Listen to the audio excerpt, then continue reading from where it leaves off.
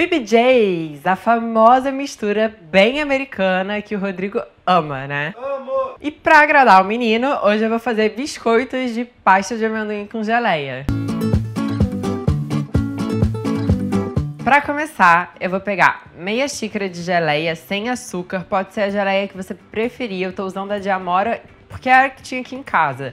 Mas tradicionalmente, assim, eu acho que essa receita fica melhor com geleia de framboesa. Eu vou mexer essa geleia para ela ficar um pouco mais cremosa e facilitar a aplicação dela depois nos biscoitos. Agora em uma vasilha, eu vou misturar uma xícara de farinha de aveia, uma colher de chá de fermento em pó, uma pitada de sal rosa e três colheres de sopa do seu adoçante preferido. A gente está usando a sucralose para forno e fogão, mas você pode usar xilitol, stevia, açúcar de coco, vocês já sabem. Em outra vasilha, eu vou misturar duas claras de ovo, uma colher de chá de essência de baunilha e cinco colheres de sopa bem caprichadas de pasta de amendoim. Essa pasta de amendoim a gente fez aqui em casa mesmo. A gente tem até um vídeo aqui no canal mostrando como se faz, é super rápido rápido, fácil, sai muito mais barato, mas se você quiser usar uma pronta, também vai funcionar. Se você resolver comprar ela pronta, lembra sempre de ler o rótulo da pasta, porque adoram colocar várias porcarias ali dentro, xarope, açúcar.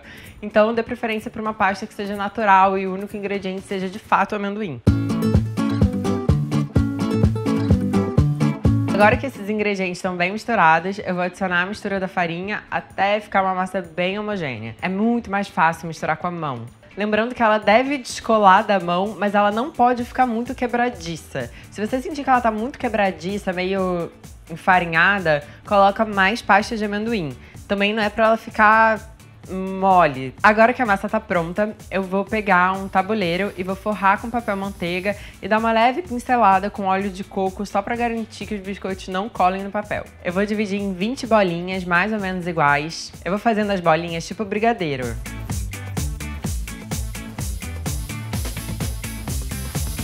Feito isso, eu vou apertar com meu dedo indicador no centro de cada bolinha para ficar um buraquinho, tipo uma piscininha. Na hora que aperta a bolinha, dá uma leve quebradinha assim, como vocês estão vendo, algumas mais, outras menos, mas é só você juntar de novo o biscoito, dar uma moldadinha e tá tudo certo. Agora em cada buraquinho eu vou colocar um pouquinho de geleia.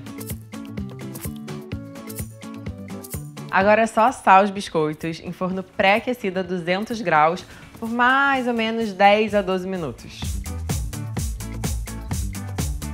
Biscoitos assados, eu sei que é difícil, mas lembrem-se de esperar esfriar o biscoito antes de tirar ele do tabuleiro. Porque quando ele tá quente, ele ainda tá meio mole e o risco de desmanchar tudo é alto.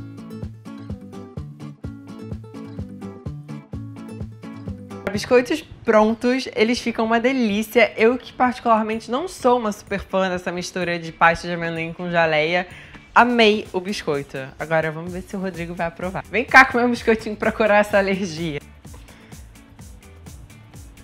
Tenho certeza que agora você vai ficar curada. Certeza. Hum, hum, hum, Pelo menos você não espirrou em cima dos biscoitos.